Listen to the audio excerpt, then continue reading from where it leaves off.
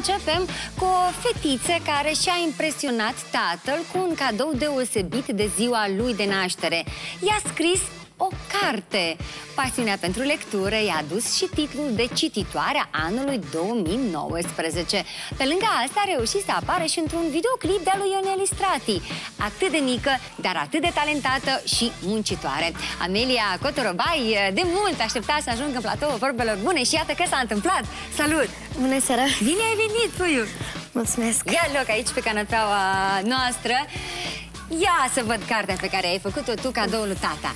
Iată, uh, cel mai frumos cadou pe care și-l poate dori probabil orice tată sau orice mamă din lume, o carte dedicată și personalizată. Este un cadou pe care l-ai gândit tu uh, cu mult timp înainte de ziua lui. Nu, s-a întâmplat așa brusc. Uh, venea ziua tatălui meu și m-am gândit să-i fac ceva mai special pentru că avea jubileu uh, și mm, am început de fapt cu o scurtă compunere uh, care era de câteva pagini, dar apoi așa m-am dus cu imaginația și cu gândul și deja am început să, să scriu o carte. Da, și uite cum, cum îl descrie ea drept pe, pe tatăl ei. Nașterea micului Ghiocel. Pentru că e născut uh, primăvara, da? Da. Așa. Și uh, tu te-ai dus tocmai în momentul nașterii tăticului tău, da? Da, de la naștere până în ziua de astăzi, Așa. cum a decurs toată viața lui. Și tu de unde știa? Că tu nu erai încă pe lume când el s-a născut. Corect. Uh, din această cauză am rugat-o pe bunica pentru că este mama tăticului meu și știe ea cel mai bine. Aha. Ți-a fost complice da, da. la realizarea acestei Desigur, da. Și am rugat-o să-mi povestească toate întâmplările tăticului meu, cele mai interesante. Șotile. Da, desigur, da, pentru că asta este ceea ce rămâne în amintirea noastră.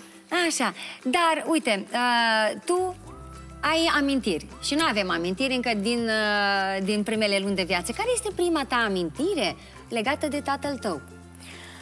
Uh, prima mea amintire, știu că m-am dus odată la grădina zoologică și pentru că eram așa o fire sensibilă și animalele pentru mine erau uh, punctul meu sensibil, îmi plăceau Aha. foarte mult animalele și cred că asta este cea mai prima și cea mai frumoasă amintire cu tăticul meu când m-am dus la grădina zoologică. A plâns când a primit cadoul. Desigur, da, dar de, ea a fost dimineața și când a primit această carte, reacția lui a fost într-un fel uh, Wow, ce frumos! Și eu atât,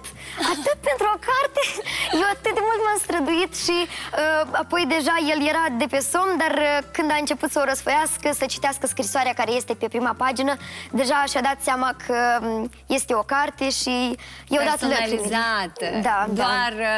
Uh, doar despre el și asta este minunat uh, Aici suscrie și în colaborare cu cine a realizat această carte Mama și... Roxana și bunica. Și, și bunica. Da. Minunat! Eu vreau să vorbesc cu tine și despre faptul că tu citești mult. Desigur, da. Te impun ai tăi sau tu singură vrei? Uh, nu, nu m-au, nu m-au impus niciodată părinții pentru că au considerat că dacă impui un copil să facă ceva, acest lucru va deveni oarecum o povară pentru el și când va deschide o carte, gândul său va apărea într-un... Of, chin. Da. și de aceea m-au lăsat uh, liberă să citesc atunci când vreau eu și datorită acestui lucru acum nu pot să nu am o carte pe noptiera mea. Minunat! Câte cărți ai reușit să citești anul trecut? Anul trecut am citit 15 uh, cărți. Uh, citesc... În afară de ale de la școală, ca să vă dați seama, da? Alea nu se consideră lectură. Da, da, desigur. Și citesc după plăcere atunci când am timpul liber și cu asta îmi petrec eu majoritatea timpului meu. Îți petreci uh, timpul uh, și prin videoclipurile lui Ionel Strati. Da. Ce ai făcut în videoclipul lui? Haideți să, să vedem momentul video, după care revenim să aflăm uh, de la micuța domnișoară cum a ajuns ea să fie uh, eroină în acest videoclip.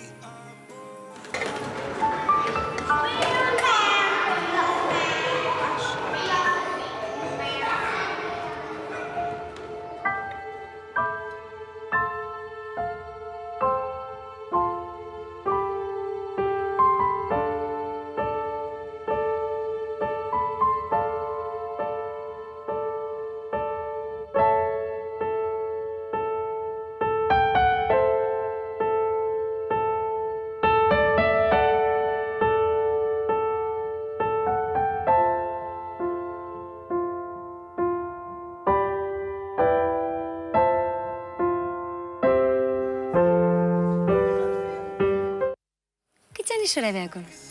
Uh, eram uh, la dansuri, uh, aveam uh, șapte-opt ani, așa undeva. Și a fost și a venit, uh, a făcut casting sau voi v-ați înaintat candidatura? Cum a fost? Uh, au venit la centrul de dans uh, la care urmam, unde urmam cursurile mele uh, și um, au spus să, alege, să aleagă învățătoarea noastră de dans uh, fete care sunt uh, de o statură mai mică. Mm-hmm. Și deoarece eu eram uh, una dintre acele fete, m-au luat și pe mine.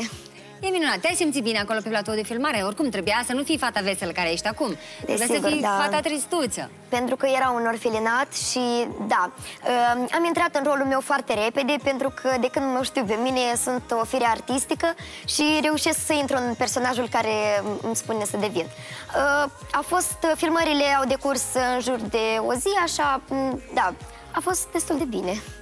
Ea e minunat și uh, ești foarte liberă uh, să vorbești în fața camerelor, pentru că de obicei copiii se, se cam blochează atunci când apar la televizor. Tu ai mai fost pe la TV. Desigur, da. Și primele, prima dată când am venit și eu la televizor, sub uh, lumina reflectoarelor, desigur, mă simțeam, mă simțeam și eu un pic uh, blocată, pentru că Poate era și un complex al meu să fiu în, în văzul tuturor oamenilor, dar deoarece m-au invitat tot mai mulți oameni și la mai multe emisiuni, deja am început să mă simt liber în, în studiouri și cam așa.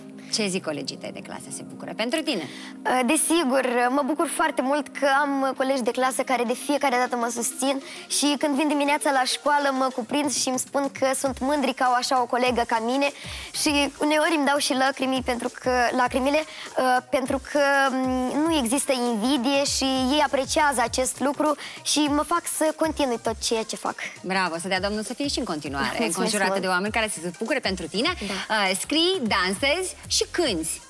Da. Le poate face pe, pe toate fetița asta. Haideți să vedem uh, câteva imagini uh, video uh, din, dintr-un moment al tău artistic.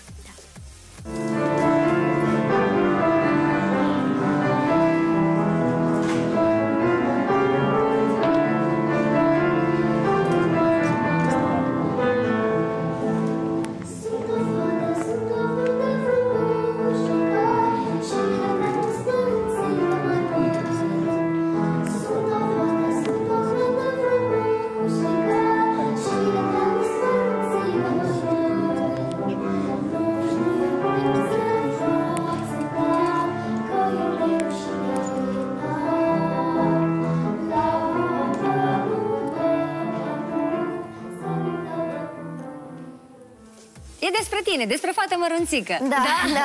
Eh, totuși, e cu ceva timp în urmă uh, filmarea aceasta. Da, desigur, eram în clasa a doua pe atunci, da. Și acum ești? Uh, acum sunt uh, clasa a șasea, deja coardele mele vocale dezvoltate și-au luat adio de la mine.